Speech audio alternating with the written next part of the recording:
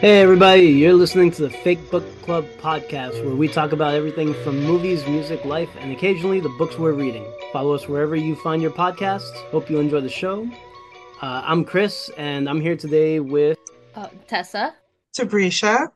Oh, Or Whitney. uh, Evelyn. Uh, and as you can tell, this is going to be a very uh, special podcast episode where we're going to be talking about Halloween uh, and other spooky season topics. Um, so, before we get started, uh, I want to mention that we are not affiliated nor sponsored by any brands or labels we may talk about during this recording yet. Uh, but yeah, it's a Halloween special. So, getting right to it, what is everybody's level of horror and spookiness? Me personally, I do like uh supernatural and gothic horror. Uh that's usually my comfort zone. Although I'm good with slasher films. If it's like a if it's a slasher film with like a culprit hidden by behind a mask and the goal is to try to figure out who the killer is, then I like it. But if it's like, oh, we already know who the killer is, but and they're just terrorizing everyone, then that just and that annoys me. There's no appeal to it. So that I that's the type of slasher films I don't like. Oh. No, I get the appeal of a slasher film because like I'm uh I'm I think I'm the one here who's like the um uh what it goes I call myself like decaf horror or spooky light because I'm the one who doesn't like horror or like scary things. I I cannot stand for example like Asian supernatural horror. Oh, like The Ring. and- Yeah, we oh my God. My, my, I have I have had nightmares like from those things. So like my level of horror is like very like I like a spooky vibe, you know. I'm a pumpkin spice girly. But like I no, I cannot do uh, this a, a slasher is the highest I will go. Hmm. Like that's that, that's as far as I go, and I feel like that's l- low on low-ish on the tier of horror because there's somebody you gotta be afraid of, and that's not and it's not like supernatural or like unnatural. I mean, The slasher can be pretty scary. I don't know what slashers you're talking about. yeah, I was gonna say. Yeah. Like you're saying it's There's- like there's a lot of there can be a lot of gore, there can be a lot of blood, there can be a lot of like I that can kind of stand- horror. I can stand blood. I cannot um like if you're if, if we're going from Scream to like Halloween, Scream is my tier. Hmm. Yeah. Because I would That's my argue tier. Halloween is a slasher. Yeah, Halloween is a slasher. straight up a I slasher. feel It like is Halloween isn't as scary. I feel like Scream is worse than Halloween. Oh Exactly, no. be- Uh, I'm the opposite. There's Yeah. no Not way. because But you not worse than already Jason though. What's that? Friday the 13th? I think Friday the 13th is kind of Which one? Which one is the one That's at Jason. Jefferson Lake? Friday the 13th. Friday the 13th. Friday the 13th. Okay, okay, okay. And then there's Slasher. Elm Street. I don't fuck I don't fuck with Elm no. I love Nightmare No. on Elm Street though. I Freddy know. It's so Those are comedies. are my hard. No, Yeah, they are What? exactly. No, Not- like Evelyn not- said, they're comedies. They're What? camp comedy. Yeah. Straight No. up. Straight No. The understand. earlier Any- one, sure, but the ones now, like, nah, that's No, no, Like- no, no. yeah, I don't fuck with Chucky and I don't fuck with Freddy Krueger. No, Oh, stop Child's it. Chucky Play is is great, high camp. No, okay, no, Chucky's comedy. no, no, it's not. It is Yes, a it is. doll. this is I keep reiterating Yeah. to people. It is a doll coming to life and wanting to kill people. That's How is that funny? That's That's the not definition of comedy. Because it, the comedy comes from the fact that he is a doll with He's it, like who, it was feet cursing. He's cursing up a tall. He's cursing. He's, He's using oversized Oh weapons. I could not look at my toys because, first of all, this is when like TV guides were a thing. Um, before like digital guides, like I saw the movie like showing on Pix 11 or something saying Child's Play. First of all, the title is misleading. So I watched this movie and then I'm seeing Where were your parents, Teresa? Yeah. They were not paying parents? An excellent point. An excellent point. They were not paying attention until I started screaming. So I was like, why is there a doll coming down the stairs and killing people? And no, this it was just so misleading. I could not look at my toys after a while. My cousin had a replica Chucky doll because they loved the movie as well.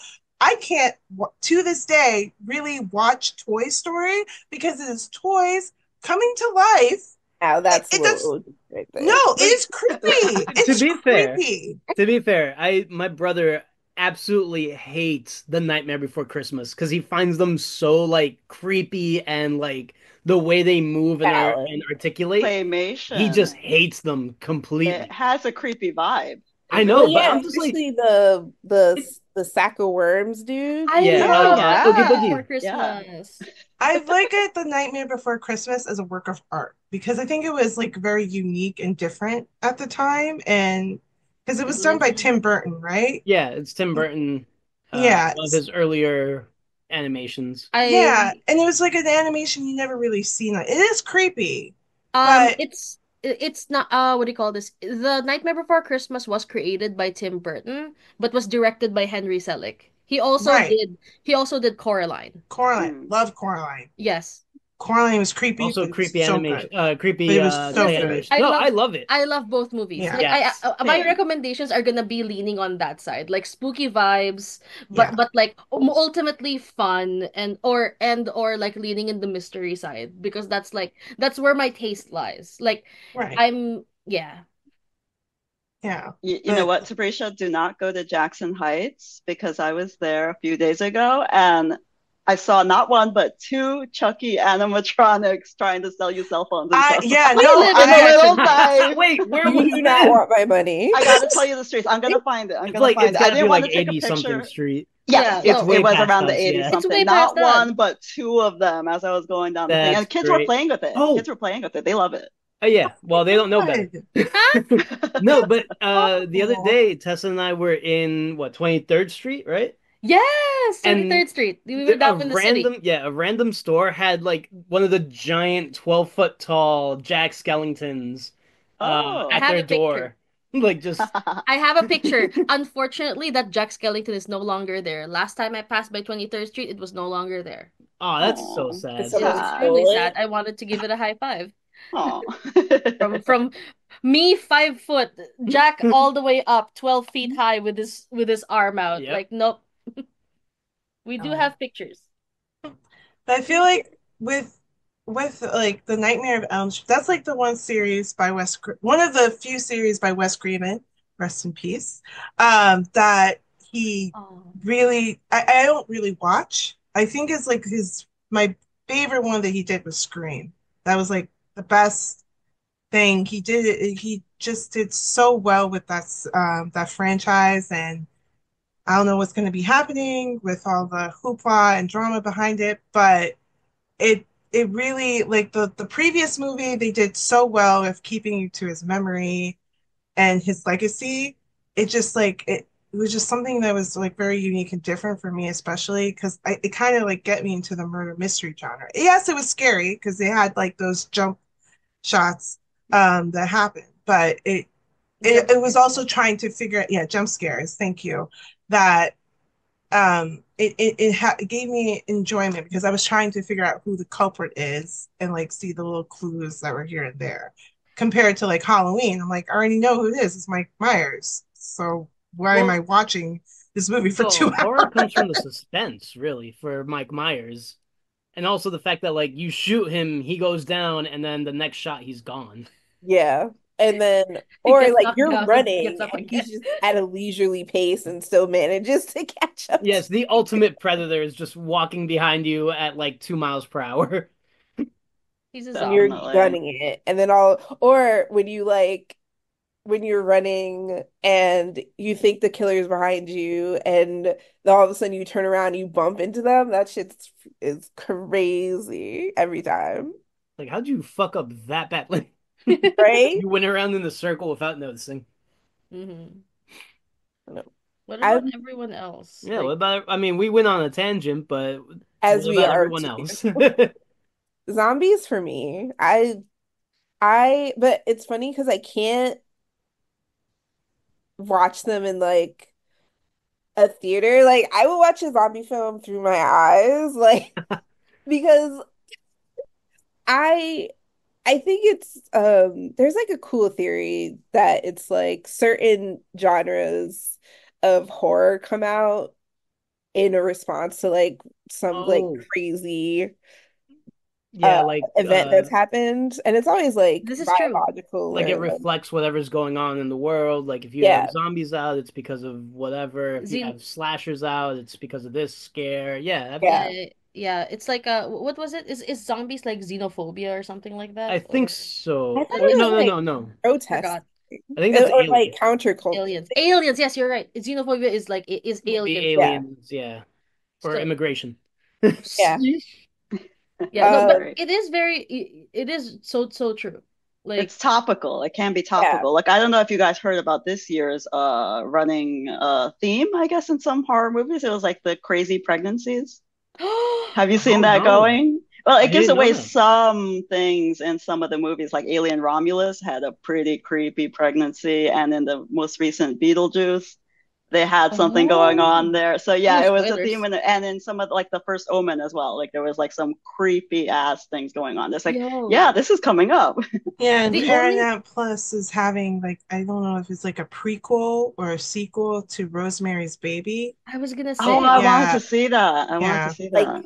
so are kids evil like you're are kids evil or bad like Children No, I be think it's about. Kids are just. I just think you evil. it's wanted having kids I mean probably like a woman's agency. I think is what is at No, yeah that's stake right Rosemary's Baby, that's yeah. yeah. coming up. Yeah, yeah. In general. But like, no, creepy, creepy kids are also a staple of oh, the oh horror I don't fuck with creepy kids No, hell no. And Cre creepy scare the living kids hell out of and kids dying are two like tropes in films that I do not I can no No, the the creepy kids is what gets me. Like, here's the thing.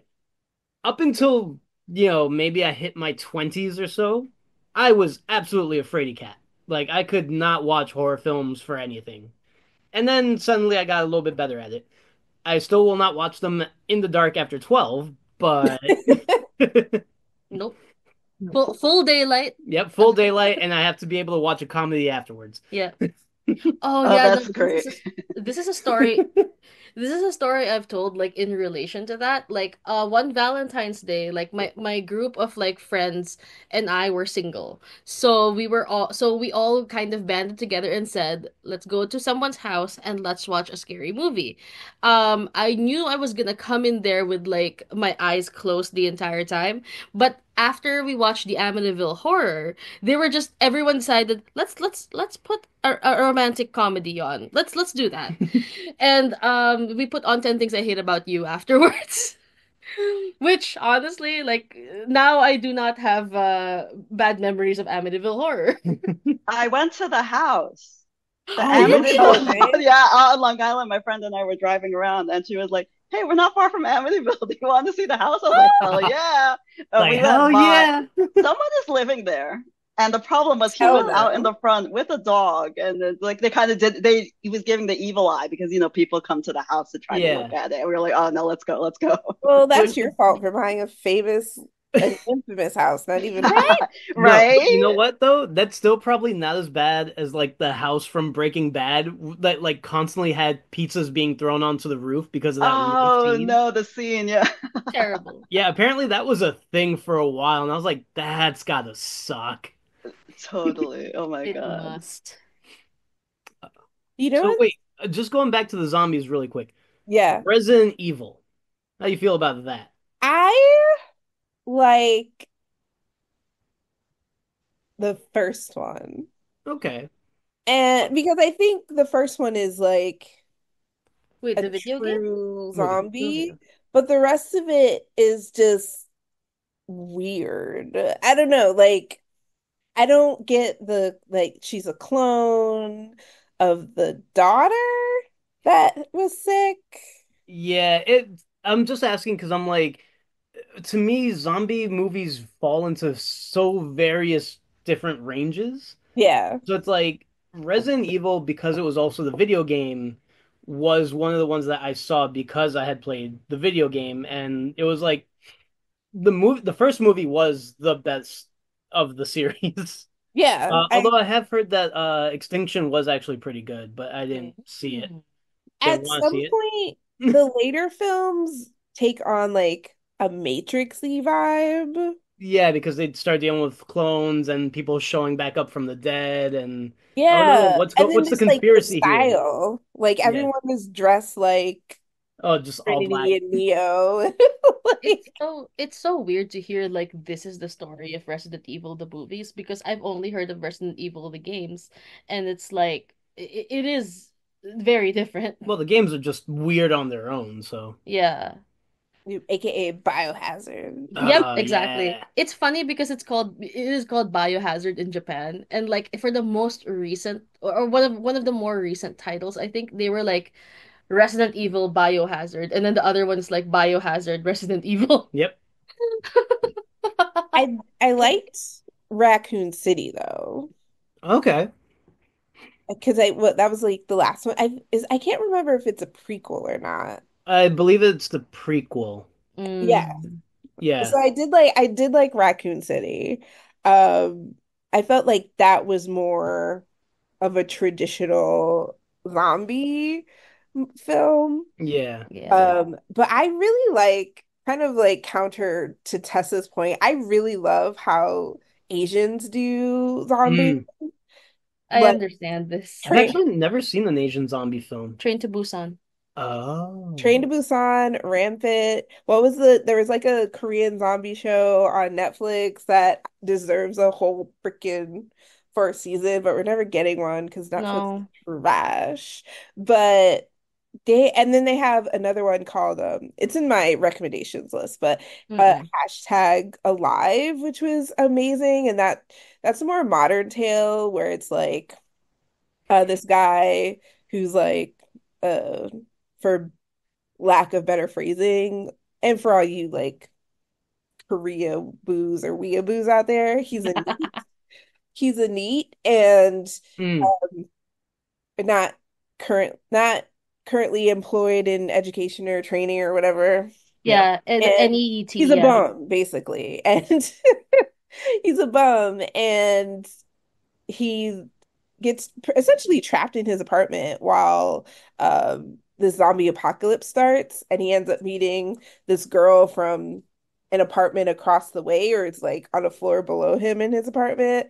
And so they just try to survive together. And it has two of my favorite Korean actors in it um Yoo Ah-in who's about to go to jail for a year and then and then uh Park Shin-hye. Like, please tell me it's tax evasion. no, it's so Yoo Ah-in, and then we can get back to the topic at hand. But Yoo Ah-in one of the greatest Korean actors of the current generation, in my opinion. But he was he has depression. Like he was diagnosed with being bipolar, on top of the fact that he allegedly is not straight. In, you know, in Korea. And so he was medicating, self-medicating, and Oh then no. they he had prescription for for like depression and um depression and his bipolar or BPD or whatever he had or has, he still has it. But then he was also like doing other things. And you know, Korea doesn't play about drugs. You can get a slap on the wrist for being a rapist, but you will go to jail if you're on drugs. Oh my Damn. Was was he God. targeted because he was famous? I, I think so. It was kind of, and it was also kind of like a Michael Jackson situation in that his he had a doctor who was just prescribing him drugs, Oh, like, Oh. and so he was found with like ketamine, weed, like a bunch of coke, like a bunch of other like Those hard were not prescribed. Right, on top of like his drugs anyway. Because a lot of drugs that are um a lot of drugs that are okay here okay here to use, like being prescribed, is not the case over in Korea. So like the, it was a situation with like Park Bom from 2NE1 where she was trying to bring her ADHD medication over here and almost got put in jail. But eh, point blank bottom line is that he was sentenced to a year in prison and for being mentally ill basically and Terrible. and it's just a huge loss in his talent because he's fantastic. If you there's another show that he was in, Hellbound. If anyone Mm-mm. watched, uh, it's on it's on Netflix too, and that Mm. was a and that was a manhwa that they turned into a show. Yeah, I was Oh, about to ask, is either a manga or a manhwa because I have Yeah. heard of the title. But yeah, he he's been in like a bunch of stuff. I think if he ever came to to the US, he'd be winning so many fucking awards. But um anyway, back to the zombie genre. I love it. I don't like to I don't like things jumping out at me, and yet I only love I only love the the the the zombie genre the zombie genre. That's something I will always like try and search for, but I don't I other than like the original from like way back in the day, I don't really like any of the Dawn of the Dead or Day of the Dead movies. I'm just eh. I feel like the first one had such amazing social commentary, and then like the rest of them were just like feel like money grabs, if that makes sense. Yeah, like horror for the sake of horror. Or Yeah, like, horror for yeah. the sake of horror. But and then I'll talk and one more thing, and then I'll toss it over to Evelyn. But there's a it's not horror, right? But it is gory, and it for the pa for the past like 20 some odd years of my life, it has haunted me and I will never watch it. There's this RoboCop. One, I think it's like the second one.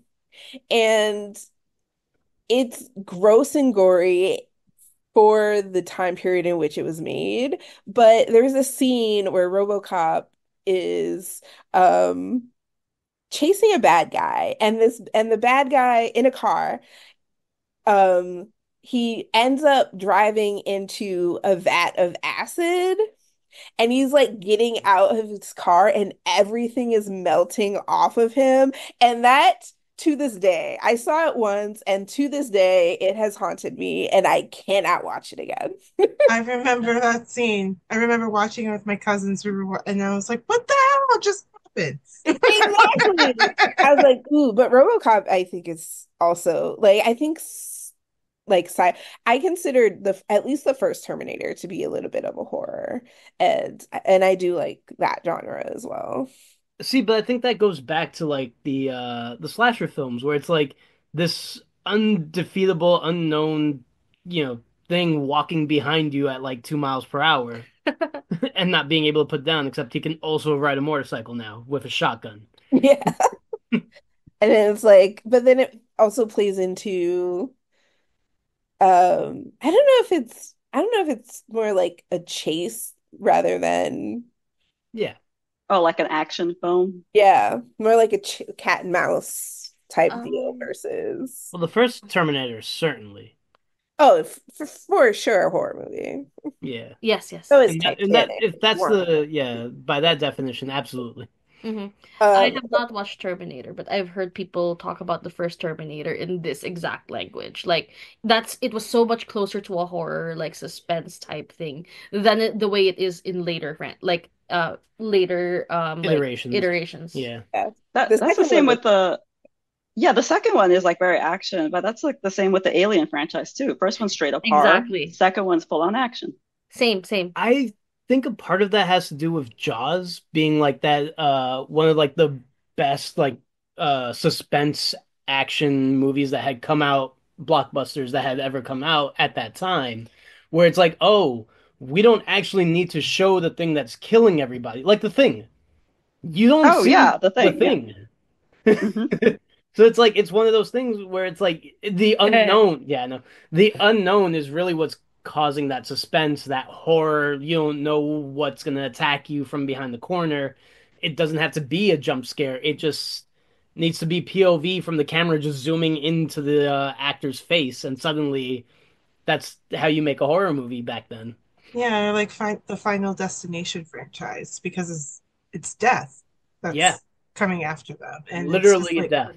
Yeah, and it's just like this entity. Some I think like in the first film, you kind of see a black shadow in the kettle, but then uh, from the other films, it's just usually the wind or just an ominous suspense. Like that death is coming after them. So um, yeah. Yeah. The the first one made me afraid to get in my t my grandmother's tub for like because, because how the guy died because he tripped in the tub and my grandmother has a similar tub and knocked it out and like and then he choked. I was like, oh no. The third one, I rethought of going on roller coasters because I was like, okay, wait, wait, wait, no, no. This ha because a lot of um because I was they were just showing Final Destination 3 on AMC a couple of days ago, and when I looked up about the franchise, and I think some people were asking them, like, how did you come up with these like accidents and death scenes? They're like, uh, uh, the creators like these things have actually happened. We just take them for real life and put them in the film. I was freaked out. I was like, what? like, Yeah, but um, that's how 911 is. Like the Yeah. TV show. Now I'm just like It's all like these straight from the headlines. There's a, actually like a board game now, which is I think called either dumb like either dumb ways Oh, to Dumb die Ways to or the Die. worst ways to die. And it's basically like you have to guess if like the situation on the card is a real death and like and it's all ridiculous situations or something like that. Like it's it's a it's a it's a really funny game. Funny or gruesome? Yes. Because you just be like, wait a minute, that way. Yes. All right. Um, but yeah, we have actually Tabrizia, you mentioned uh gothic and psychological, so yeah. I guess because that's what the type of books I love reading. Um, so I like seeing that in movies. So if I like I like psychological and gothic movies can kind of like it's like that ominous feeling, but also I feel like the human mind is the scariest thing of all because we still don't know what how the mind thinks, how it can like change and a psyche. So when I think of horror, I also love thinking like psychological, a thriller, that kind of just suspenseful feeling. So like for psychological, Get Out, love Get Out. Um, Us, Nope, Gone Girl, even though that they changed like the ending, Gone Girl, psychological thriller because that Great one was movie. crazy. Yeah, a great movie. Great movie. crazy. You know what you need? You know what you need? Uh Perfect Blue by Satoshi Kon. Like if you like psychological and if you ever enjoyed Black Swan, watch Perfect Blue because that's like I I feel like it's the the, the best way to enjoy that specific like uh descent into madness. You said Black Swan, and I was sold. Yeah, Yeah, yeah. that was sure. such a good movie. Black Swan So is an good. excellent movie. And um like while uh, I I had heard afterwards that like there's a lot of elements of uh the movie Perfect Blue in it. And if you've watched any of Satoshi Kon's works, like it's trippy. Like Paprika was the apparently the inspiration for Inception. hmm So like in much the same way Perfect Blue was an inspiration for um for Black Swan and I think um the way that the both of those are animated is so good. Oh, I did not know that. It was like based on it, or they took a. Loosely and loo- loosely based took inspiration like whatever words you want to use to describe that those particular relationships between those particular movies. Nice. I'm gonna check Yeah. that out. Yeah, I do. I do too.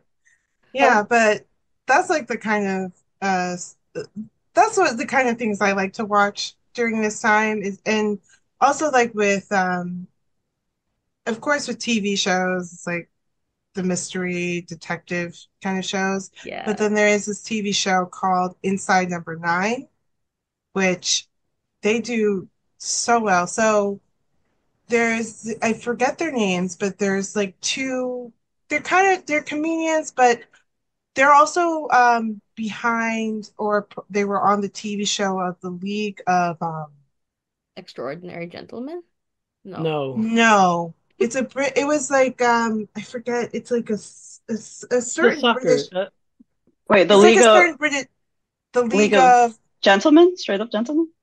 I think it's a League of Gentlemen, something like that, or Psychoville. Mm. But Never. uh, yeah, it, it it it look it up. It is very creepy. So with Inside Number Nine, they take these um, different scenarios, but any scenario that happens, it's always either inside a house, an apartment, a studio, a room, and it's always number nine. The room is either number nine, the hotel room is number nine, and they always create this very creepy thrilling psychological um, episodes, and you're on the edge of your seat for close to 22 to 30 minutes. You have no idea how it's going to end. It always, I always love watching their episodes. Their latest and sadly last season, because it is the ninth season, and they did say that they would Oh, end. They they said we're ending at number nine. Um, wow. I know it's going to come out on Halloween on BritBox. So if anyone out there has BritBox, you can subscribe to BritBox. Um, it's always a great treat to watch through Halloween. Even one Halloween, they had a live episode Wow. where they were live tweeting with people because they they made people believe like, oh, we're having this episode. Then all of a sudden the lights went out in the studio, and then the um, transmission got cut off, and you think that wait, did something happen? Did your internet? I thought when I watched it, I thought my internet went out because all Mm. of a sudden it was just like the color blocks and then they were live tweeting and they and they were saying like hey is everyone seeing this like and something but it was actually staged they were cool. making believe that there was a ghost haunting the studio and it was causing all this because they built the studio on a haunted uh, burial ground It's always a haunted burial yeah ground. so it is like an amazing um series i'm it's one of very very innovative and creative and uh, most of their episodes are spooky but they do have some heartwarming um, episodes. I feel like the live one was my, my favorite. They have one with the surprise vampire that was just out of nowhere. Um, and also there was one where they fooled everyone in thinking, oh, this episode is going to be about a bus. But then when they started playing, it was a game show, and people thought it happened again, that they showed the wrong thing. But it was not until they reached the very end, people realized, wait, we're actually watching the show, and then the credits roll. So it was that. That's by far my one of my favorite episodes because um, it, they just do such a great job fooling people and also terrifying everyone at the same time. So um, I kind of like those kind of things, like very innovative and suspenseful, but also like it's psych psychological as well. Mm. Well, apparently, uh, while it will be their ninth season, they are also doing a West End stage play Yeah. And it's next next year. year. I'm going to London next month. It, I thought it was next month. Then I looked it up and they're like, no, it's next year. I was like, damn it. Sounds like you're going next year too. I No. probably will because I want to see it. Amazing. all right, and then Evelyn just you just put all. I just put all. I just put all. You said, "What's everyone's level?" I said, "There's no, there's no ceiling here." Like I will watch like the There's grossest, nastiest, most.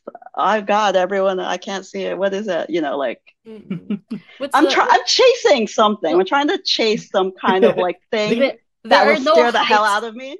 You know, there like are I'm no just. heights nor lows you will not shoot to nor uh nor ascend Totally, yeah, yeah. The limit does not exist. Yeah, Yeah. There limit you go. doesn't exist. I'm trying to look for the limit. I think that's what it is. But you know, there's so much this horror it just encompasses so much. Even like everything that you guys mentioned, like I've watched it, I've you know, or I have an interest in it. There's no particular one that I will go to, but I will say probably psychological is the one that probably like does give me that slight, ooh, this is a little disturbing, and maybe I'm thinking about it hours after or days after. The ones that stick with you like that is the one that I tend to gravitate toward. But I'll watch it all.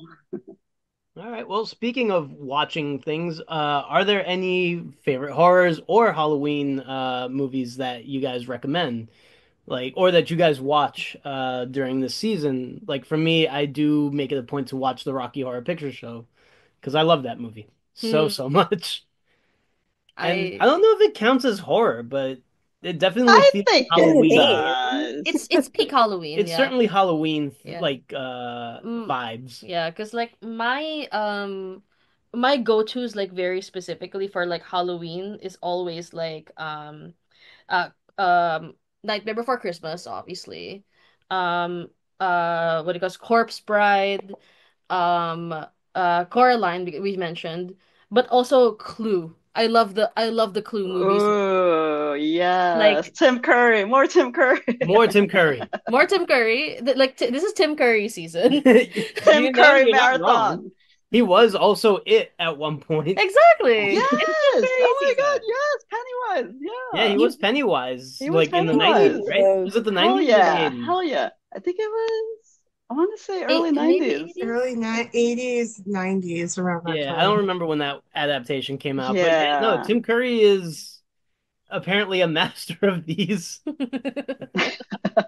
He was in, he played a serial killer and a R word, but he played a serial killer in a couple of episodes in an arc of of um Criminal Minds, and he was pretty like it was pretty intense. Like he was one of the most memorable of the serial killer characters. Nice. I, And it, it, he, what he would do, he was he was basically a, a tertiary like family annihilator. Like he would go into the homes, assault the the wives and daughters, kill them in front of the in front of the husband slash dad, and then kill the dad. Like God damn, that's crazy. Yeah. and he was like uh like he they dressed him up to be basically like a vagrant kind of like homeless unkept but he had like a minivan to get around or whatever Hmm. he was doing this across the country so um I highly rec- uh I want to say it was maybe like season six-ish but we can I can always look it up and get back to y'all but yeah it was one of the most disturbing episodes and it was an it had to be like maybe like three two or three episodes it was crazy That's wild. people I say think- like you can tell a lot about a person by where they recognize Tim Curry from. So now I'm wondering what this says about the people who recognize him from Criminal Minds. That they like true crime. Uh, Basically. is Criminal Minds a horror I feel like it is there's just so I think it- it's- serial killers it definitely it's goes into the psychological of it. yeah Yeah. It's like I think it's like psychological and police procedural because it is like uh I think it's the FBI or something like that who's investigating these crimes. So I think it's like a mixture of that. I wouldn't call it horror. It could be very, it can certainly be very scary though, like Yeah. depending. Mhm. I've All right. Uh, I would say Scream, the Scream franchise. only Yes. Only seen the first. Ha what? Oh, Ha- what, what? no, you No. have to watch. No, at no, least the second one. I don't really. I have how many, uh, like how much of my taste has has not told you that I am a baby? Here's the thing. I'm not a baby, but I've only seen the first one as well. And I'll tell you why. The first one didn't scare me. So I was like, I'm not going to continue So you said, why if bother? I'm not exactly. It's like this is for me. It was more comedy, camp, teen, uh, kind of film where I was like, eh, this doesn't grab me. It is. I think he what I what I think like what Wes Craven did. He did talk about like you know the genre that he also helped cre like created like the teen slasher films, but he also created like an intertwining mystery along with it because that's like people because people think of like oh it's just another side. No, it managed to all connect even to the most recent one. It still connects to um to even from the beginning. So it, it it's it's a good it's a great franchise for those who would you get scared? I mean, depending, you probably have seen a lot scarier stuff, and you're probably like, this is it, this is nothing, and probably right. But I highly recommend for the mystery aspect because like when Whitney and I saw the most recent film, like we soon kind of well, I actually Whitney figured it out before I did because I, I was like, when you talk about that can't be that can't be the person and she was right. Uh, and so Cox, she was like, oh my God, because you figure out the clues that are laying behind and what they say. And I think they did that on purpose because they want the audience to go play along and to figure it out. So I think it is more just a slasher film, but it's also like, you know, picking up on the little um like Easter eggs and trying to figure out the underlying mystery and then also the psychological aspect of this all this this is crazy stuff that all these people had to deal with and it still had lasting effects up to the most recent film and it is still ongoing. And and it's something that is being discussed in the film like the effects of you know slasher films because that was um, a hot topic during the time when Scream and I Know What You Did Last Summer came out. Oh like how God, like you know, the psychological aspect of it and Wes Craven kind of made fun of it and then in the film. He was like well, you guys are saying that this is my fault. Well, I'm going to put it in the film and kind of make fun of it a little bit. And you kind of you you you, see that a little bit. And then also in the third one, which I really like, how it's because it's something that we even deal with, like how we take real life incidences and we make it into a movie and mm. not thinking about that these things, like with true crime, that these things have happened to real people and we are not seeing the effect of it. So you can have an entire class on the Scream franchise. And I think that's that's why I like say, yes, it may not be scary, but it is a very intriguing mystery and thriller that I, I think it's like one of the things, even though I know what happens in each film, it's still something that I'm always excited about watching. I I think because it was self-aware of itself in the first movie, I was kind of like, well, you're crossing like a certain line that I didn't really want all jumbled together, you know? So it's just like, are you horror? Are you making fun of horror? Like, where You are you? And at that point, meta. I, d- I hate, okay, I don't say I hate meta, but it will take, it takes a very good meta for me to be into. And for this one, it did not work for me. I was like, no, don't do that. I don't like I don't go into slasher movies expecting to be scared. I go into them expecting a lot of blood and like guts Gore. and Yeah. like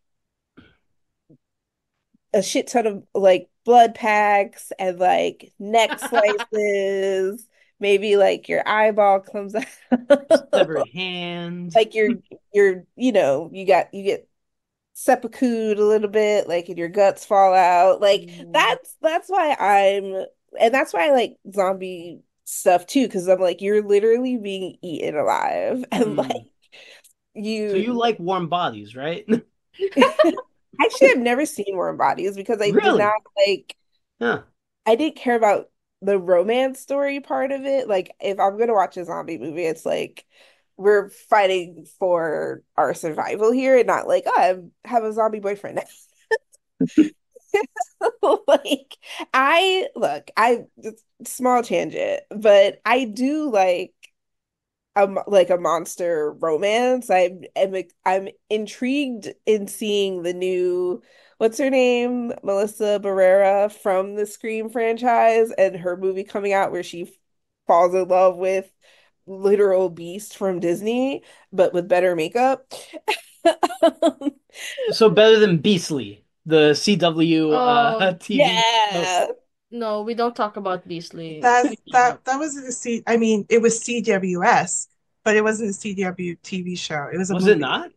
No, No. it was a reboot to the to the what's her face? Laurel Hamilton? Lauren Hamilton from um from the original Terminator movies. Linda She Hamilton. Linda Hamilton, thank you. She was Uh, in a movie with a movie. She was in a TV show called Beast with um Lou Pearlman as the Beast. You're Beast, right. and they rebooted it. Oh. Beastly is a is with is a movie with Vanessa Hudgens. That's what I was thinking. he he wasn't a beast. He just had scars on his face. He was really ugly. Wait, was I thought that was a TV show? Was there a TV show of that? There Beauty have and the Beast. Beauty and the Beast. They re There they go. yeah. Oh, Because they had a TV show. No, Beastly That Show was a movie. if I Yeah, and then they thought Beasley can't. was the show. Okay, that was my bad. Yeah, no, it was Beauty and the. it- That was on the CW, and That's that what I'm thinking yeah. of. Yeah. I'm I'm dead. I can't. I'm terrible with names, but yeah, I. I don't go into the I don't go into slasher movies expecting to be scared per se. It's just more of these people are gonna die, and it's either gonna be why are you going why are you going up the stairs instead of out of the front door versus like um and you versus you know being smart and if you're smart you're gonna die because that's like the trope but then but it all comes down to you know the final girl which is a whole the Oh. It's a whole concept. of yeah but I I like more uh, I don't have any just to kind of circle back to the topic I don't really have any um Halloween movies that I rewatch, it truly depends on what comes on at the TV and I feel like paying attention to. And nine times out of ten, it's Blade, the first one. Oh, that's yeah. so good. Blood Rave. So good. I someone on TikTok was like, Blade is the reason why I listen to e dark EDM, and I was just like, shit, me too. right? That's hilarious. Shit.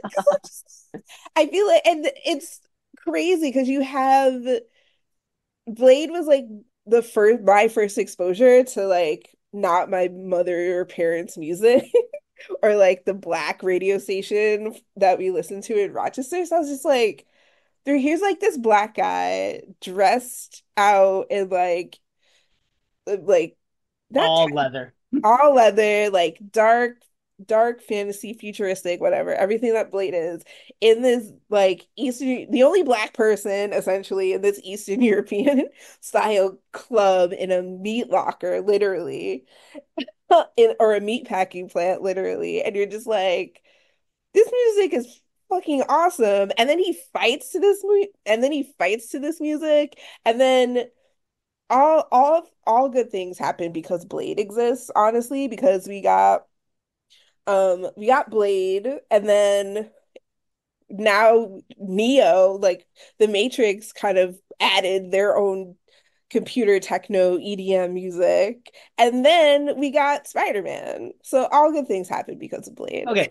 I Spider-Man, yes. I'm not entirely sure that the Wachowskis were inspired by Blade's uh, blood rave scene to Look, make the They took, they took a black woman's story and made it their own. So All right, that's a different topic. that is a different topic. However, Which the influence is Spider-Man? there.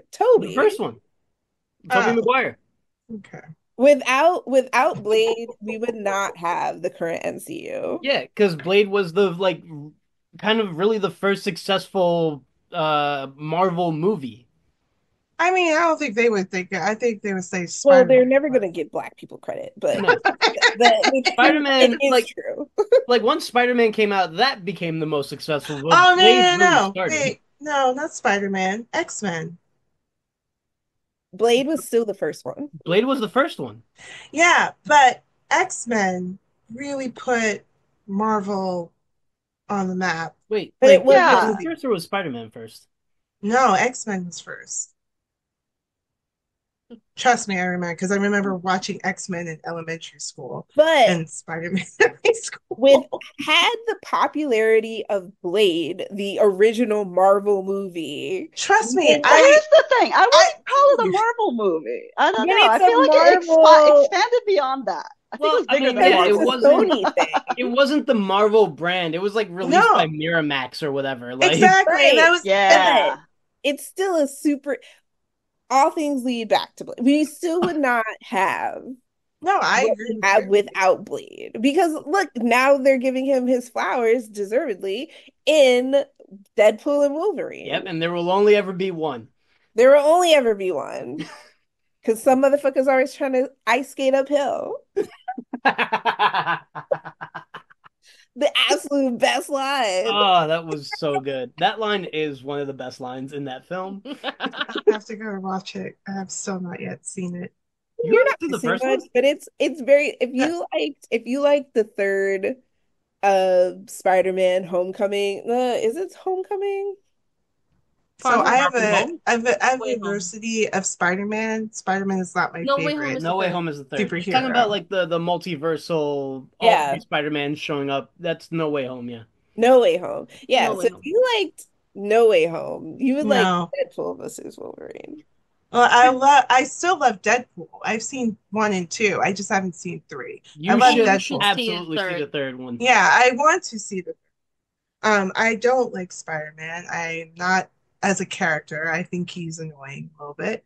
To Um, that's what my dad says too. So Yeah, I agree there. I agree I there. like my I love the uh Miles Morales ones. uh, the animated, the uh, Across the Spider-Verse. As you Yeah. should. True, You have true. eyes.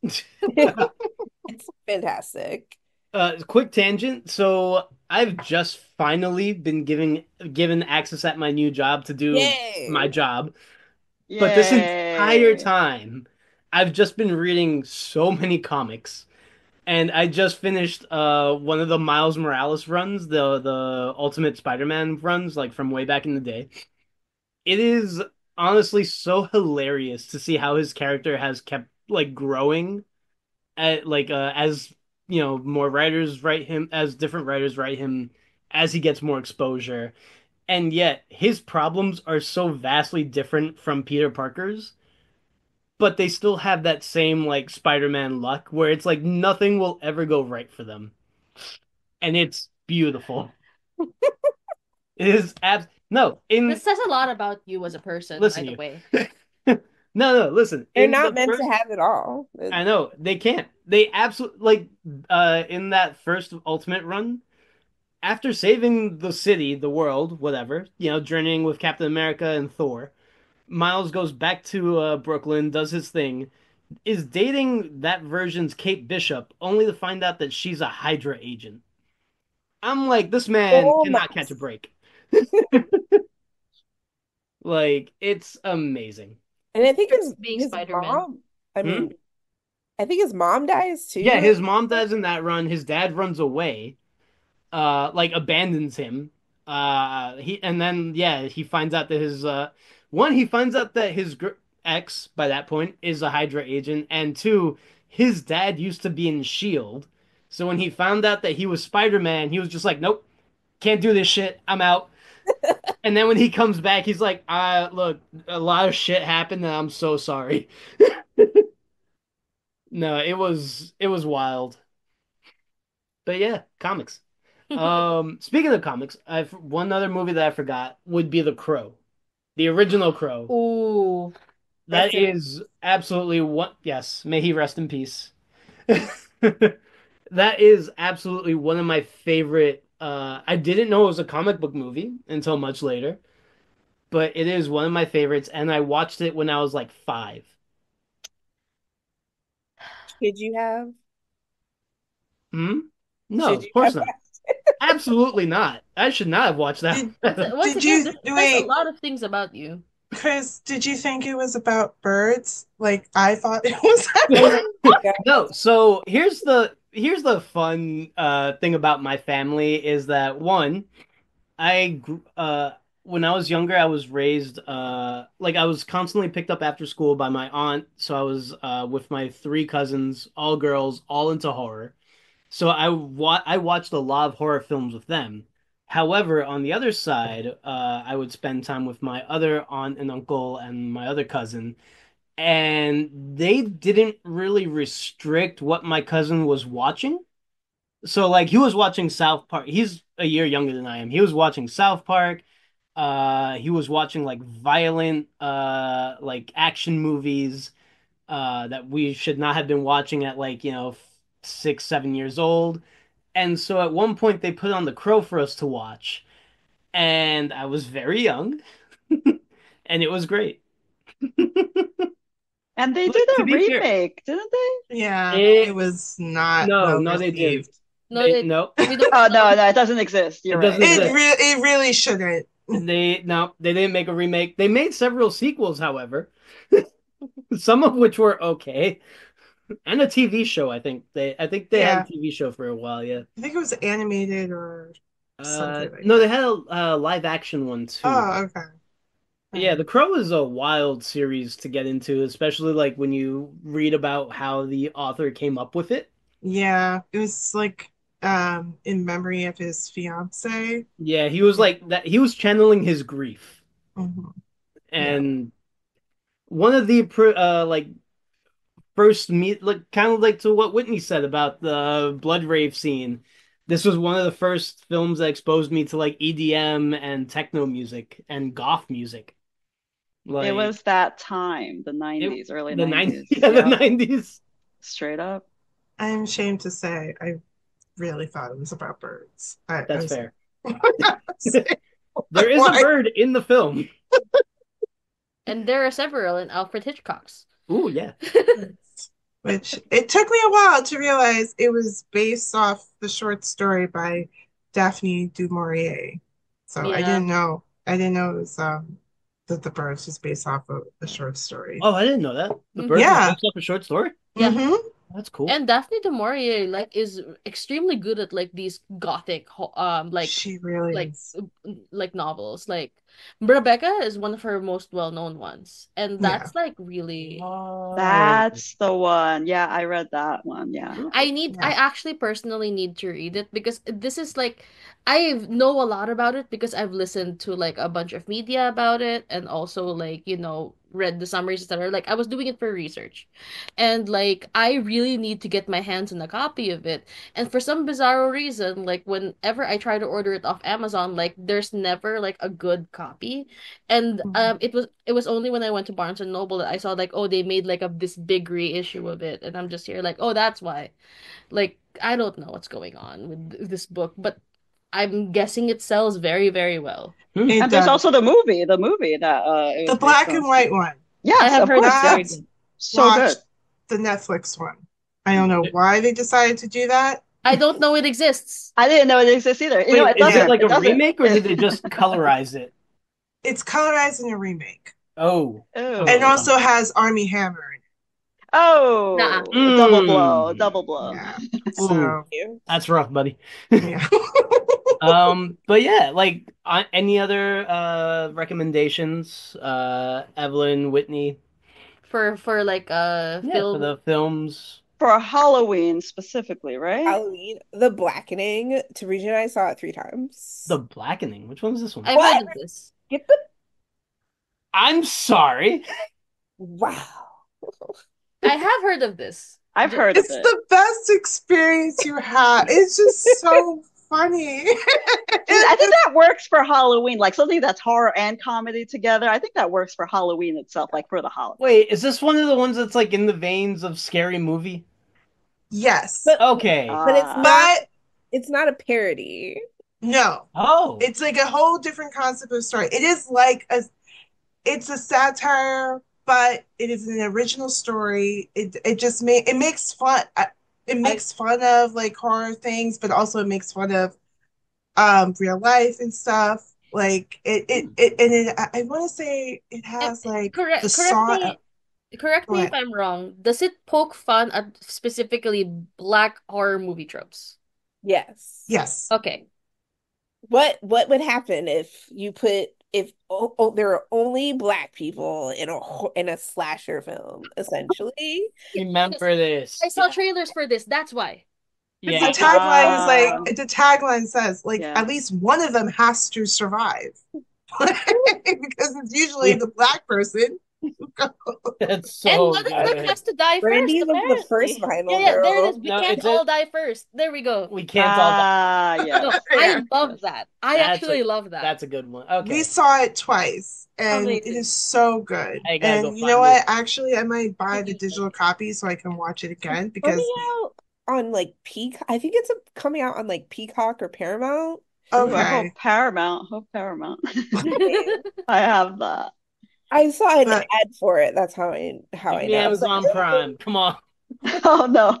Please, that too. So I was just like, this, it's it's it's scary. not scary in like a uh kind of like a scary scary way, but it's it's a typical slasher like uh cabin in the woods type Yeah. film.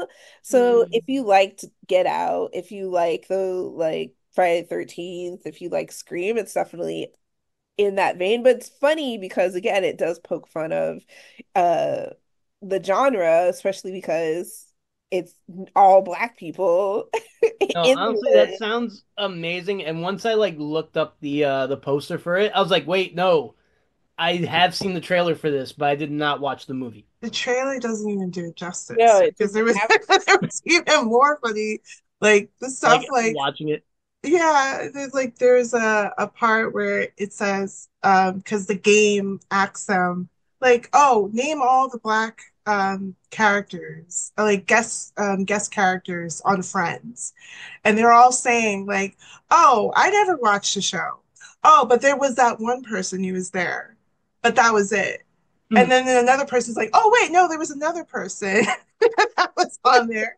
And then they were like, wait, so you have watched the show? Like, no, we just.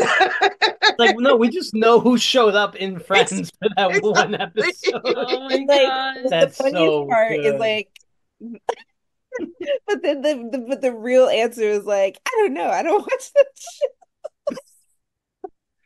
Okay, yeah, no, that is absolutely the peak comedy from like the 2000s made it into this No, it's decade. It it's came out 20 last year, right? Yeah, it came out, uh, when it says was 2022, I think. So that's two. Was it last year? No, Yeah, I think it was- 2022. Oh, okay. When did we get trapped in Chicago? Because that's that's where we saw it the second time.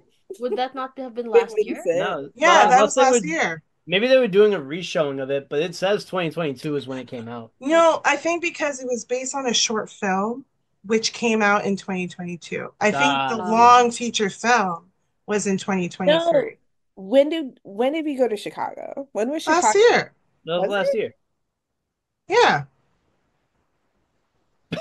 We- Yes, You know? Because this You- year was San Diego, so we didn't go. Last year was Yes. Chicago. I was Yes. thinking, Yeah. I was thinking, I'm already in 2025 of for anti-prom planning, No, I understand So, this.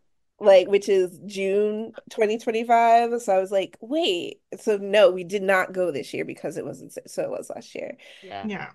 No, I I know it was last year Oh, because no, no, I okay. I remember Tabrizia brought me back an arc from uh So, from Chicago, so I was like, yes, I I looked it- remember. I looked it up. Here's what it is. It premiered at uh TIFF. Uh the I guess the film one of the film festivals. Toronto Film Festival. Thank you. In 2022 and then it was released uh nationwide in 2023. There we Yeah. go. So there you go. But either way, that sounds awesome. No, It's this this actually I, I actually think this film is 100% up your alley. It's a satire, of course it is. Yeah. But I think, and then what else did I put here? Uh, if you want, if again, back to the, I have one more slasher recommendation and one more zombie recommendation. Um, so Ready or Not is one of it's.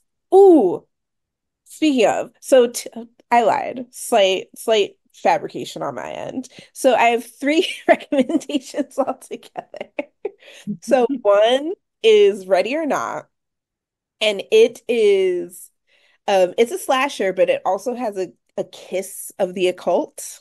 Why does that sound familiar? It's the one with Samara Weaving, the one who we all thought was Margot Robbie.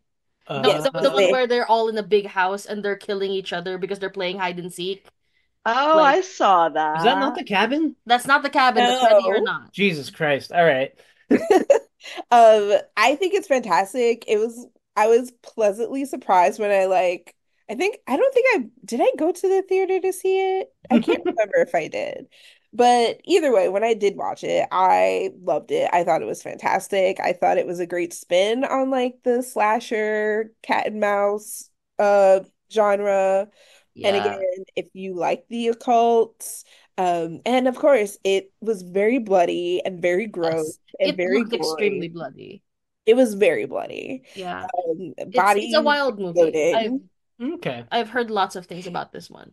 And therefore, if you liked, if you liked uh, or have watched and liked it, um, Ready or Not, you will absolutely love Abigail, which came out earlier this year. Oh, And I it's by the same people, and it stars Melissa Barrera from the Scream movies, the the new uh era of the Scream movie. She got fired, right? Or she quit.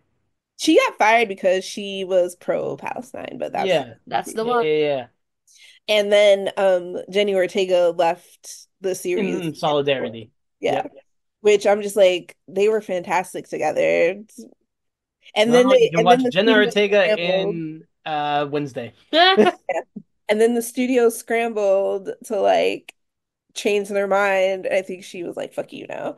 Um, but I'm like, there was it was such a good genre. Anyway, so if you watch Abigail, Abigail, I know this is gonna contradict what I said earlier about creepy kids. However, this is my one exception because it's about these got this this ragtag team of thieves um who kidnap an heiress and the heiress turns out to be a vampire and she kills them. I was thinking of the wrong movie. I Were you no, thinking no, the- I- Annabelle? N- uh, The doll. No, not Annabelle. That's No, what I no, was I thinking was the whole thinking- time you were saying that.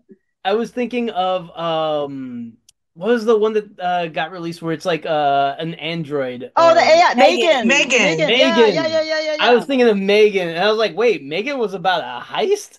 But I think it's from the same studio. It probably did- is. It feels Yeah. like it is. But I do you remember the post for Abigail. It's like creepy, like uh girl There's a doll with face. dress, right? yeah. Yeah. Um Oh my God. I think, but yeah, if you um liked Ready or Not, or if like that is up your alley, I highly rec recommend Abigail because it's truly, truly fantastic. I went to the theater to go see it because um I because I like the Ready or Not and I like the the creators for that. And then um another recommendation I have in the zombie genre is um well I also like A Quiet Place, but I can go on and on about The Quiet Place. I Oh, like go on about the Quiet Place. I love the I loved Place. it. I like I like monster films like that too. Um and it was just a nice spin. Even like the whole series to me is fan is great Yes. storytelling, even though I the rumors are John Krasinski is kind of a weirdo, but Yeah, I didn't know where that came from too. And I was hearing about that. I was like, wait a minute, no. right? No. Kind of a jerk, but I he's know. a white man in Hollywood being a jerk. I'm shocked.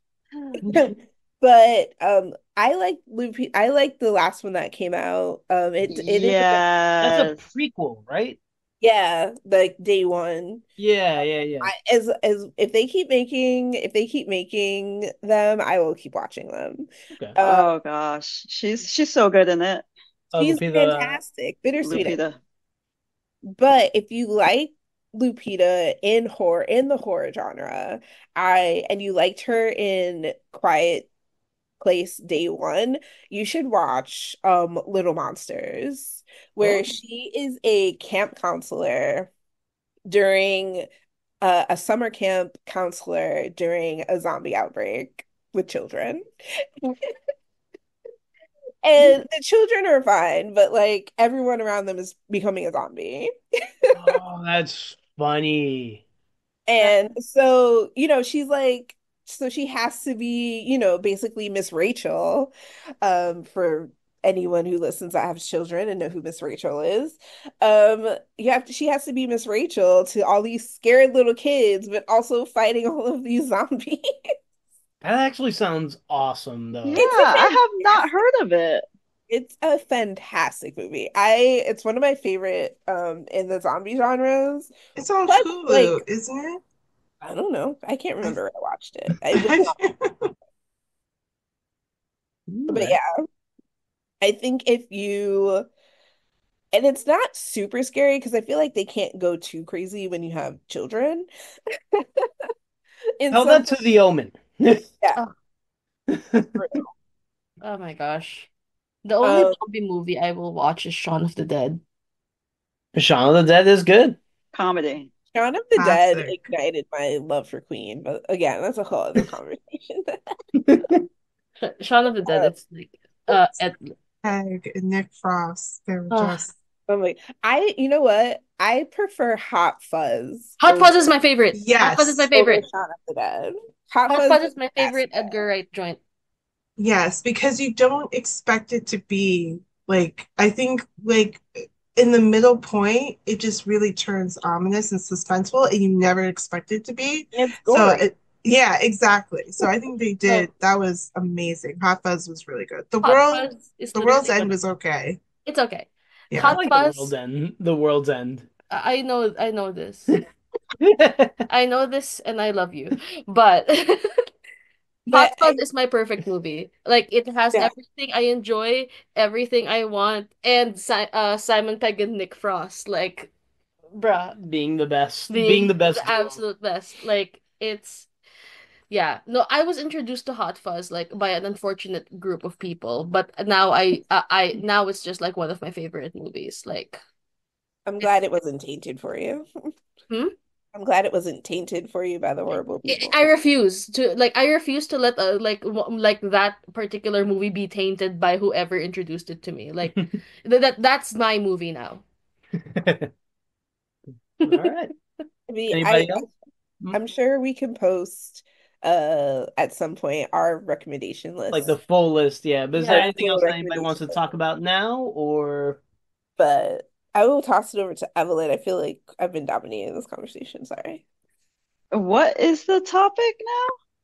I mean, you can either talk about the movies or you could go to book recommendations if you want. Oh, okay. The movies in general. Well, I think I already spoke about the Halloween stuff anyway, but uh horror. I I think Great horror. Rosemary's Baby is one of my favorite, if not the favorite, because it is that scary. I I think it's the only one that made me like, oh God, like days later, nights later thinking about it because it's just, just like if you haven't seen it, you know, it's the twist about like, oh, is it all in her mind or is it actually happening to her? And so I think that's kind of like the draw there. It's like psychological, but then it's like also like seeing, you know, so it's like it's got a bit of both, and I like that a lot. And plus, you know, it's Mia Farrow. Gosh, she's so good in it. So, and yeah, yeah, just the whole movie in general, I really like that.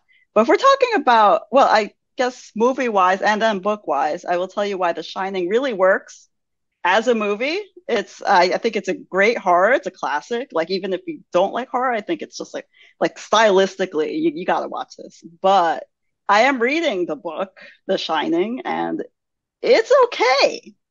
It's not scary. And then I was thinking, like, you know what? I don't think I've ever read a scary book. Like I'm reading it, like, oh my God, I, I can't read this anymore. This is scaring the hell out of me. I think more about The Shining is that it's more about like family dynamics and abuse and things like alcoholism. So it's not, which is its own kind of horror in a way, but it's not the type of horror that The Shining, the movie, shows. And I think they had beef. I feel like They Stephen did. King had beef with the director about how he took that movie. And so, Stephen, uh, yeah. Stephen King famously hates the Shining movie. Tried to make his own, which was way worse. No, get out. I didn't know that. Yeah, apparently it, his version was just banned. Oh, wow. They totally diverge. Like reading it and then seeing the movie, there's totally different things. It's so funny to me that uh, they're both The Shining, but they're quite Yeah. not. No, But uh, yeah, I I can, that movie is great. I love that movie. so good, One of so the cases, good. it's one of the cases where the movie is better than the book. Yes, actually, yeah, I think it is one of the very few. I don't know what else you can say that for. Very Yes, few. very few, if I recall. Yeah, Yeah. but book-wise, that's the only one that I was thinking of right now. I don't know if you guys know a scary I know a book. I was gonna say for like horror books, I don't think it's necessarily about being scared out of your mind so much as like you get the um like the goosebumps. You get like the uh your hair standing on end. Uh it puts you into such a place where your like the, the lizard brain is activated where it's just like, oh, oh no. It's funny because like I find reading horror much more palatable than watching horror. Because like I've read a few like uh horror stuff for my job, so like it's like and I've been able to tolerate it and I've been able to like enjoy some of it. I've discovered like aspects of horror that I enjoy. So like yeah, no, that's that's great. Okay. I mean, well, at that point, books. No, I agree with Tessa. I can read horror instead compared to like watching horror. So for for books, like with horror books, I it's mostly graphic novels I read. So the top one, anything by Junji Ito, Hmm. because you just want to give him a therapist because it's like, all right, is something wrong? Do you need He's to a He talk? very happy person. he He is, really and that's the in creepiest thing. He draws excellent cats. He does. He draws, hi- his artwork is so amazing, and he draws stuff that scares the living daylights out of you. But when you see him, he's the happiest person you can ever. I'm like, okay, you need a hug or something. I don't know, but you do amazing work. A- anything that he has done, and you want a spooky read for the Halloween season, just pick up any of his books. And then I think like the other um, comic book series is my all-time favorite, Something is Killing the Children. I absolutely love it. It's by James Tynion the fourth and other illustrator illustrators. It is, I honestly thought it would have ended by volume four, and it's still going on strong. Wow. He keeps, and there's two spin-offs. One is the House of Slaughter, and I think there's going to be another spinoff, and there's it's also going to be a Netflix series. So Oh, that's cool. I'm interested to see what it that's going to be like. But the way Netflix has been doing stuff, it's been hit or miss. But I absolutely love the graphic novel series. The the latest volume comes out at the end of this month. So for horror like book, that's those are my recommendations. But I tend to like reading mystery and thriller uh, books during this time, and I have to like name my all-time favorite, And Then There Were None by Agatha Christie. That she is the queen of mystery for a reason. And with that book, which is the best-selling novel um, of all time, best-selling mystery novel of all time, it she absolutely created a very suspenseful and ominous tale that you have no idea what is happening and you're shocked at the very end.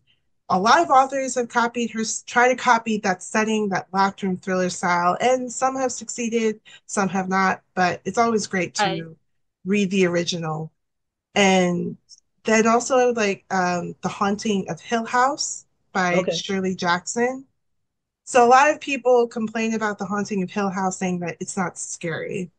And I think it is like it is a, it's a scary book because it is a it's again one of those books about how far like your human mind can play tricks on you and like and when you're put into an unsettling um, setting and with all her books with shirley jackson's book she creates that suspenseful and psychological kind of tale and this one really takes a cake i kind of prefer uh, we we have always lived in a castle which if you don't like creepy children don't read that one uh, I've heard it heard.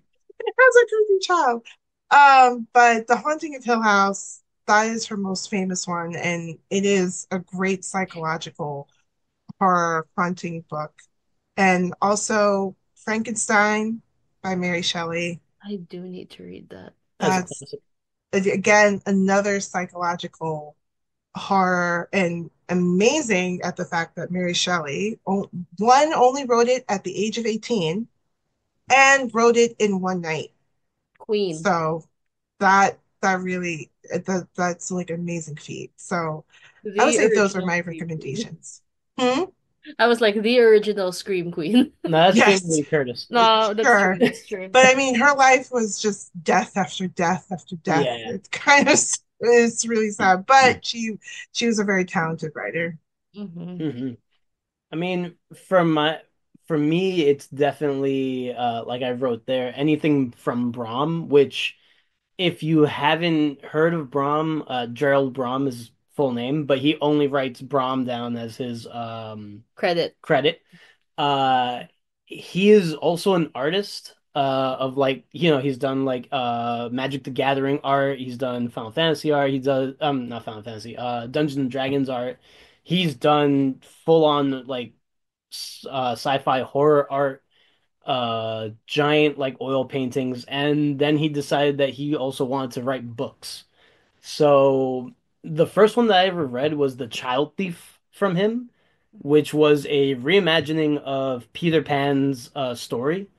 Um, where according to Brom, his inspiration was the fact that there's one line in the book where it describes uh, Peter Pan's never-ending war against the adults slash pirates, uh, where he constantly recruits you know, the Lost Boys, and even if one fell, he will find another to replace him. He took that idea and just made it into a full-on book, which is very terrifying because there's body horror in it. There's the idea of like um being saved by somebody only for them to turn into your abuser as well. Um, and then it flips on the head where it's like the pirates, the adults, they're not actually the villains necessarily, but you're being forced into this war regardless, because otherwise you will turn into a monster and die. So it's an entire, you know, thing, and he also he writes a lot of like book novels about like um folk like dealing with folklore or like uh uh, stuff that classifies as gothic horror. Uh, he's got Krampus, which was a Christmas time book, um, dealing with the uh, the idea of Krampus. You know, the uh, I forgot where he's from. Nor uh, Norway? No, It's it's definitely like a Nordic. he's Nordic. Yes, Yeah, like a Nordic Nordic. Scandinavian. Yeah. Um, you know, like he's what happen. He's what happens to the bad children. Instead of getting gifts, he puts them in the sack and beats the crap out of them. Um, but you find out that through all of this novel, there's also a subplot dealing with Santa uh, and also the dead Norse gods. So really weird, really wild. Um, he also has Slewfoot, which is during the uh, like pilgrim times, uh, where women were considered, you know, witches if they even so much as spoke out for anything.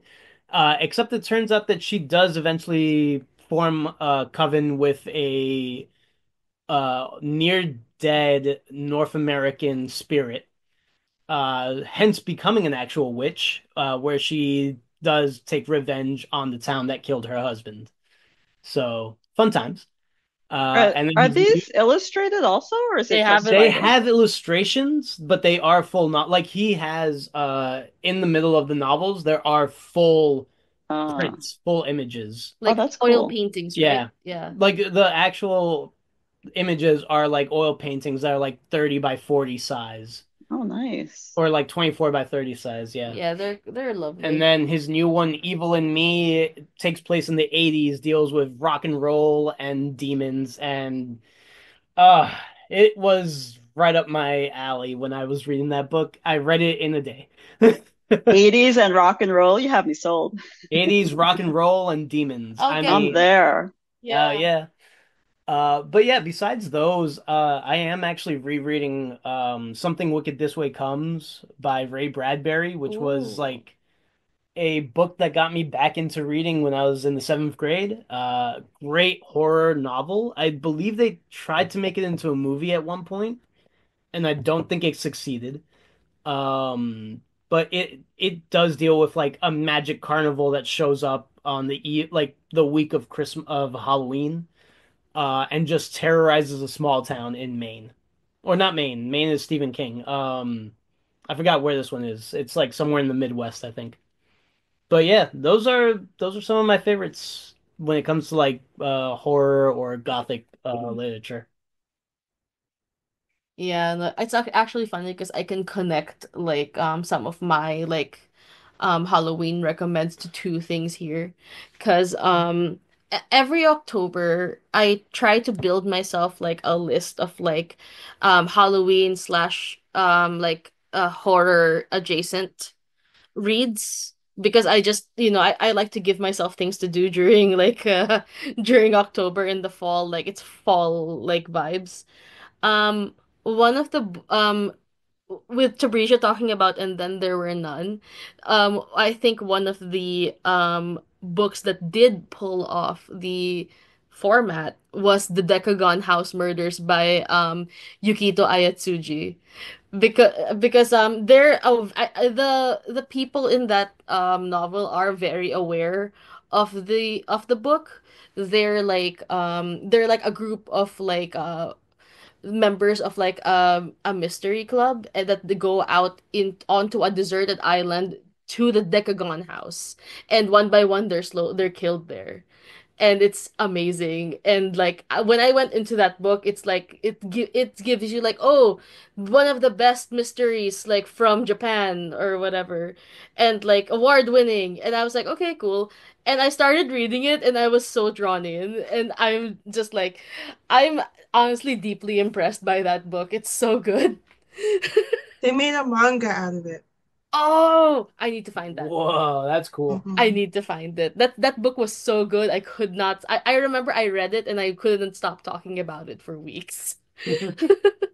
And um with Chris just talking about Ray Bradbury, um I I read for one of these uh for one of these October lists that I made uh The Halloween Tree by Ray Bradbury.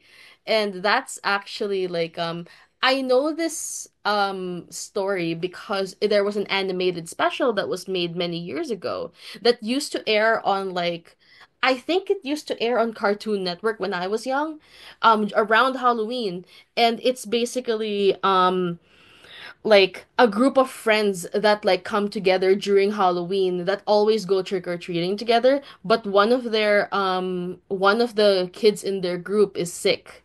And it turns out like his soul his soul has been taken and like they have to go through the history of Halloween and like what Halloween means to like many generations in order to save their friend.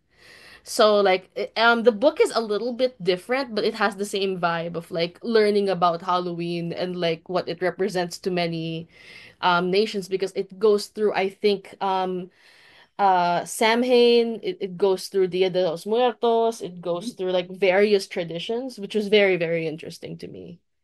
Yeah, Ray Bradbury has been one of my favorite authors for decades. Because he does he has a great uh way of telling a narrative, whether it has anything to do with fantasy, science fiction, um, short stories, long form. Uh, He is a master of storytelling. Yeah, no, this was a very fun read. It was a very light read also. Like it's a it's a very short book hmm as well, but like it it was a good it, I I enjoyed it. Yeah. I, Also, apparently, there's been several adaptations of Something Wicked This Way Comes, including one by Disney, which he considers one of the best adaptations of his Oh. works. So now I need to go find that later. Yeah, because the the cartoon you just mentioned, I because I did not remember, I didn't remember seeing it on the Cartoon Network until I just saw the cover and the animation, and I do Yes. recall seeing it. He actually wrote the screenplay for it. Yeah. Okay, I didn't know that, and that's so good. Yeah. That is so good. I have a very selfish recommendation that I don't know any if like I think it's available in the library if I recall correctly. But um there's a collection of um mysteries um from the Edo period. Uh, and um this book is called The Curious Casebook of Inspector Hanshichi um, by Okamoto Kido, and it's translated by Ian MacDonald. And it's basically like a bunch um a bunch of mysteries that are being solved in Ed in the Edo period, and it's such a de it's such a nice insight to like that particular period in Japan when they were like going through like the restoration era and like the case there's like cases about like samurai there's mysteries about like women uh getting like kidnapped in the middle of the night and like uh, mysterious goings on in like a remote village, you know. And I'm like, they're all short and they're all like fun to read and they're always like with the air of like, yeah, I I screwed this case up when I was young, but I'll tell you about it. You know, it's it's really nice. I like that. I, I like this uh I I like this collection of stories and like I reread it like okay, like uh, every couple of years. I think that was wasn't that on a list? I remember one of our colleagues, like where Tabrizia and I work. I remember one of our colleagues was talking about it or mentioned it It's been a because it sounds while. familiar. Yeah. I I, I remember was uh, I I found out about this book when I was still in college. Like I borrowed it from our Japanese department. So Mm. like um what's the title of it again? The Curious Casebook of Inspector Hanshichi. Like it usually pops up on Google once you find the words Curious Casebook. But it sounds very familiar. Um, and, and and maybe there was like a K-drama iteration of it because it sounds like something I've heard about, but There it are definitely a lot of like K, not K dramas or like or s- uh, may- maybe K dramas or C dramas that have Inspector something in it. yeah. But like I don't know if they're connected. Hell, I've heard of like this um Chinese movie called Judge Dee, I think. And like that's uh another and I know that there's several um series to it. So I'm just here like they're all over the place. But yeah, I this is this is a book that like I just enjoy a lot. Like I and it's it's just a collection of stories is what it is. Like Uh, and it gives it actually it's funny because it also has footnotes that let you know like what like uh context if there's like something like going on in the novel in that particular story. So like it's to me like I learned a lot about that period like while reading this. That's cool. Uh, anybody else? I created a very short list just now. That's fine. Um, Zom 100. Um, to Let's be perfectly go. honest, I fell off on it, but but really, I mean, I I think we read it during the pandemic because uh Tabrish and I, mm, was it you and me? Or was it yeah, we were on a um a book selection a, a thing for work and we both read it and loved it because who can't relate to I would to rather face a zombie apocalypse than go to your soul crushing job. Oh To be fair, look, to be fair, I didn't read it, but I did watch the uh the anime on Netflix and I loved it so much. It's I it's fantastic. I think I have like the first and second volume on like my bookshelf and it's just it's silly because it's like it, it's a horror comedy, so you are gonna get some silliness to it, but it's just like it's about this kid. Oh, he's not a kid, but Yeah, I was like he's like 20 something. yeah, Yeah. he's doing something. Well, he's younger than me, so he's gonna be a fucking kid. Me at my job. right. Oh my God. But he's like this young guy who works at a black, a Japanese black company. The people are not Yes. black. It's just another term for That's what they call a border, is a borderline illegal, no no no, borderline like illegal that's what they call like the over abusive companies, like the ones that over that tend to overwork their workers. Yeah. Um, and it was like his dream job until he realized he was working at a black company. And they, and so he just wakes up all of a sudden and there's a zombie apocalypse happening. And the first line he says is, that means I don't have to go to work. And the way I felt that so hard, felt that so hard. I mean, there's a lot of like this is a conversation for like season two or whatever, but I like having lost folks to COVID and the pandemic in general, like I still thrived and I just related so hard and it came to I think it came at the perfect time being released while we were all kind of stuck at home and it just felt like re super relatable even with the the fa fantasticalness of a zombie apocalypse happening. But technically, it's like you're all zombies. Like the streets were empty and like people were just shuffling around. So it was just it came into our lives at the right time, and it even though it was probably or probably was like published, you know, of well before the pandemic actually really started, it it's eerie how well it fit into this uh into like lockdown culture. Um and it's really funny despite what some of our what some of our colleagues thought of it. But they Oh, were uh, they weren't manga readers. I thought it was a hilarious take on the zombie uh genre. Yes. I agree. I was like, because I when I was reading it with Whitney, I was like, Whitney, it, is this our Is is this they our is this our job? Is this song job. about us? Is this play about us? I know. Oh my God. Actually, to be fair, it I feel like it has a very similar take to Shaun of the Dead, where they're like, "All right, we'll pop. Uh, what was it? Uh, We'll, we'll uh, uh, find bla we'll flint we'll find blank, meet up with blank, and then And then we'll and we'll end up at the pub and we'll At the just have Winchester, ourselves a pint. exactly. And like that's what I feel like Zom 100 was was like basically like, well, I want to do this, this, and that, and now nobody can stop me. Yes, exactly. Um, and I do have a couple more recommendations. The second one I have is called Squad by Maggie Tokuda Hall. And it's basically about this squad of girls in high school who become werewolves and that and basically they kill people.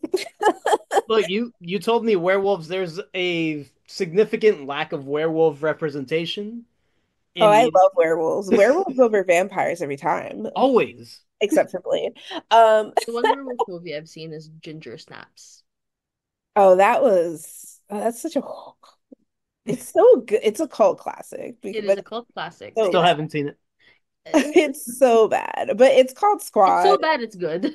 So Squad. and it's about these uh it's it's essentially a commentary on like the patriarchy and being a girl in today's being a young woman in today's society. And I, I think if you liked um obviously it's a different a different type of horror genre, but if you liked um Jennifer's Body, essentially, you might like this Oh. book. Um uh, we can always link it to in like the blog, but for y'all, I'll put it somewhere where you guys can kind of read the synopsis. That sounds cool. Um, and it's they they kind of essentially get away with it, right? Like they it's an insatiable hunger. It's like it's Jennifer's body meets the craft kind of, but without the witchy or occult elements per se, but it still has like that um weirdly like feminist lean and like girls who kill. Um, so highly recommend. Um, I think I read it for Lambda um a couple years ago because there is some gay themes in it. There's some queer bisexual themes in it. Um, but I highly recommend it. And if you also like um some like the Technicolor, it's not based in the 80s, but like the color palette is very like Oh, okay. retro. Um, All right. so I recommend it. And it's a graphic novel, so it's pretty it's a pretty quick read. And then my other couple ones are Crueler Than Dead, which is another zombie um manga that came out in 2021. I think it was another book that we read for the book committee that Tabrizia and I were on. Um, and it's basically this girl that becomes the the potential savior to the zombie apocalypse, Huh. uh, which is great. And then A Guest in the House, which is kind of like a ghost story. Um, and it's about this woman who marries this man with a daughter, um, who's and this man's wife before around the time before she entered their circle, like the wife disappeared or died. And so the wife is haunting their house, but we don't know if it's like in her head or if like the wife is actually haunting the house. And then she's uh potentially falling in love with the girl. but it's still it has an it has a, an eerie vibe to it. It's not it's not romantic in any sense. I Mm. think um Rebecca by Yeah. Daphne du Maurier. That's how that's that's how it's re it's it's promoted as. They're like, oh, it's like similar to Rebecca in a sense. Hmm. Yes. And then lastly, which I didn't get to put on here, and then I'll toss it over, is Stray Dogs by Tony Fleecs and to reach the person. I can't remember the Uh. Trish Trish Forstner. Forstner. Thank you. Yes. So this is it. This is a a slasher slash slasher slash uh serial killer um graphic novel genre, but through the through the POV of the pets because Oh, it's Of a, dogs, yeah. uh, the dogs because I mean I don't It's I don't want to spoil it if you want to read it. yeah, you you you kind of there because it's, the story starts off with this new dog is entering in this house, and there are other dogs there, and you kind of get into the mystery aspect, like why the other dogs are there How they came to be there. and how yeah how they came to be there. It is such an, an amazing thriller. The artwork is amazing. Um, it's like Disney-esque Yes. type. Or like Yeah, all dogs go to heaven if you yes. oh, okay. They like yeah that they is did the artwork style. yeah, and they did for the single issues of you and you see them in the volume set. The single issue they did like a cover of um like famous horror movies. And they put like um for straight and they just um changed it over and put the title Stray Dogs issue number um whichever issue. It is such a great um, um graphic novel. There's Stray Dogs and then Stray Dogs Dog Days, kind of like the aftermath Yeah. of what is revealed in the um in the first book. So it, Now he's it coming out with Feral. Now I can't with wait to this deals with cats, so this is gonna be exciting. Of course, Tabrizia would like it, but but yeah, those are my recommendations. Um, read them or don't, but I think they're pretty great. Nice. Uh, I would also like to mention Dandadan, which has now gotten its Netflix adaptation, uh, slash Crunchyroll adaptation. Nice. Great manga, and the it horror? animation by Studio Saru has been fantastic so far. It's Uh, horror. it's supernatural because it de well, Yeah. supernatural Oh, horror okay. because it deals with um, well, it deals with aliens and also spirits. Okay. It's great. It's fantastic.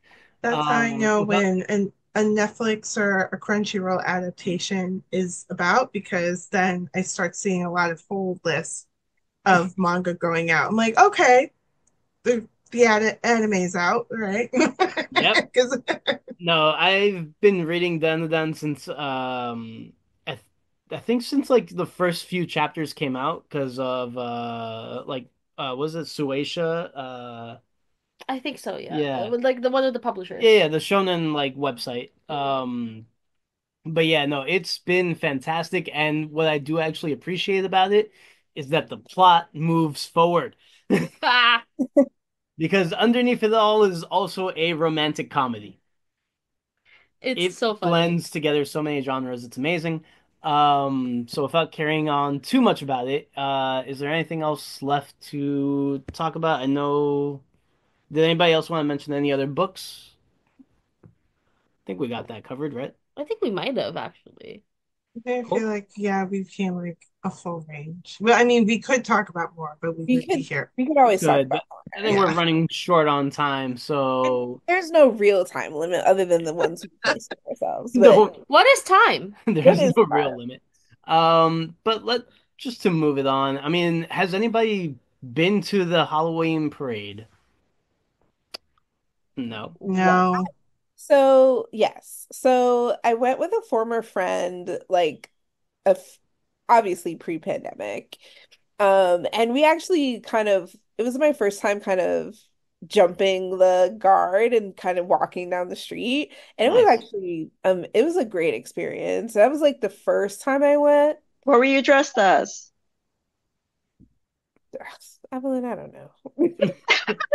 Whitney just had a leather year. jacket I never, I never really dress up for Halloween. Halloween is not, if I'm being perfectly honest, and I'll get su super quick tangent, I don't really celebrate Halloween like that, like costumes and like going out. It's not really my thing. Now it's like a birthday, Christmas, Cinco, maybe Cinco de Mayo. I am Yeah, just to get your tequila shots, right? Exactly. You eat But tacos and drink margaritas. That's what Cinco de Mayo I Mayo love is. a, I love a margarita.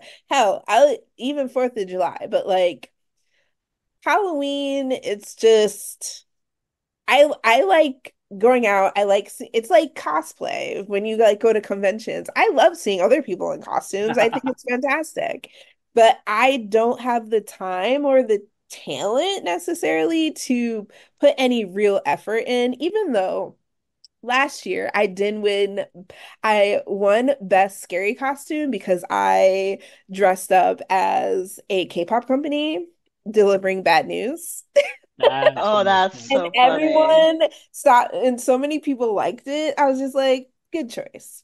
But back to my original uh point here is like I went last year and it was just not a great time because I think it was like the first time, not since the pandemic, but maybe actually maybe since the pandemic, but it was just you couldn't move, you couldn't go anywhere, you couldn't like really enjoy. You couldn't see anything. It was just, it was worse than Pride. And I was just like, this is too, this is too much. And of course, when when they do the parade route, you can't easily just like cross the street or Yeah. like go anywhere. And like it was it was just not a good time. So I never really have to do that again. You can only do that kind of thing when you're young, honestly. Yeah. Like do it in your early 20s, mid 20s. After a certain point, you're like, no, I am not dealing with that. That's you the last time I was there, like ages ago. Yeah, the last And- time I was there was when I was like in my teens and I climbed the street light just to get a good view of the Yes. of the parade. yeah. Yeah, you're climbing something, you're going over, you're, yeah, you're like Spider-Maning everything. Yeah, that Yeah. was that was that It's those So I'm like, I have not been, fun. yeah, I haven't been back since, and I'm like, I don't, I kind of want to, but also I feel I do feel like I'm too old to go now. It's and it's not even like I forgot an age thing necessarily. Like you're as young as you feel, but Look, it's man, my back It's an age time I wake thing. It's an I age mean, thing. I don't go out partially past age 9 thing, p.m. but it's uh, but it's like the world has changed Hmm.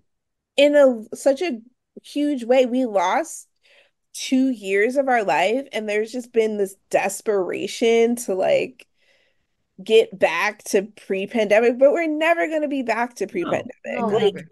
the world has changed. Like COVID, it like there's a COVID season now. It's like you can order te you can start ordering COVID tests again at through for free through the post office. I got mine. I also got mine. Oh, I need to order mine shit. Order it. Order But it. it's just like the world has changed and we can't go we we can't go Mhm. back. Like large crowds shouldn't be a thing. Like Teresa and I were going to Comic-Con this week, but it's So am I. I'm going right. to. And it's just like Wait, I'm the only one not going? I'll bring you back That's wild. Crazy. Son of a bitch. Aw. Bring you Can you get some. him in? Can you get him in? Does it No, work your magic? no, not with Not Not this Comic time Con. around. No, Comic Con is so strict with their shit. They're shit. very. They had. And we Aw. They do and we do have two badges, but yeah, not this year. No, no, no, no. Because they were like, um, they told a coworker of mine because she's a panelist, so she can get a refund for her pro badge was for a day. They told her you have to take a picture that you tore up, you cut up your pro badge. and send it to us, and then we will refund your money. Yeah. Oh, That's that's crazy. insane. Yeah. So no, Well, they They they're have been very famously very strict. yeah, Yeah. they're very very strict. Yeah. Oof. Yeah. But I'll bring you back something. All right. those types of things are just I'll get they you a sticker. opposite. But those Well, types I- of things are super spreader events, and I'm going because I have to go. I'm staying masked. Like I Yeah, I learned my lesson. oh, that's right. You From I got those COVID masks, from Evelyn. anime, and I did not. Not at Anime NYC. That was my fault. I should have, and I will for Comic Con. yeah, I've I've found that like between Chris and I, like masking at big events, like you know, because we've been to at least two concerts this year. We've been to NYCC and like other things, and like I've be- I went to NYCC last year mm-hmm. and stayed masked, and I didn't feel sick. I didn't even get like any bit bit of con flu. Even I was anticipating it, but I I was like, all right, nothing happened. Well, no, you get con flu for going three days in a row. Yeah. Okay, that's fair. That's true.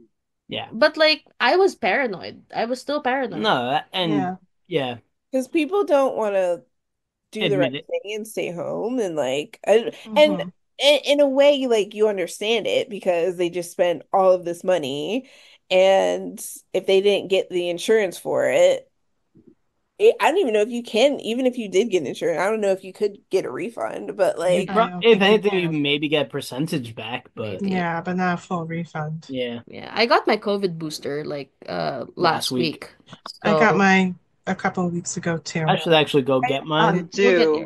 I'm Probably due. Yeah. I'm so lazy. it's right there. You could walk in. I know. well now they closed the Rite Aid by my house Wait, seriously? Boo. Yeah, so That's now like messed I have to up. find a new pharmacy, I have to find a new Yeah. Trash. everything. I'm like, Mhm. Jesus Oh, you have Christ. to See, time it that's right how too. Well, it, it makes you feel like crap, doesn't it? Yeah. Like usually, like well, your arm will hurt, but then you also might get like a low It grade depend- fever depending on It- like. I did. Yeah, Mine Yeah, it on the depends. reaction. I was fine. Uh, I- no, Tessa died. Oh, wow. Well, well, That's it, what I'm it gonna wasn't- do. It wasn't very bad. Like it like here's the thing. Um last year I took the shot like COVID plus a flu shot together because they said you could do that. Oh, you And were I was- laid out. I was laid out for two days. So this year I knew not to do that. So I Mhm. just had my COVID shot and then like um I came home and I was fine-ish like and then the following day I, I felt like I felt a little bit of chills and I rested and the following day I was pretty good. So like I it was not very bad at all. Like I felt Mhm. fatigued at the most, but like a, a day of rest and I was fine. Yeah. And I I wasn't even like I didn't even like stop work or or anything. Like I just I I I did my Monday stuff. I laid down afterwards. I rested and mm, Tuesday I was fine. Yeah. Aw. all right. Well, I think we're good.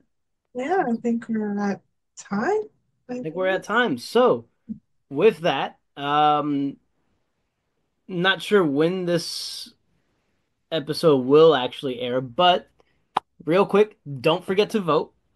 For the love of God. Um, and thank you for listening to Fake Book Club. You can listen to us on Spotify, Amazon Music, YouTube, and SoundCloud. You can visit our website at fakebookclubpodcast.wordpress.com.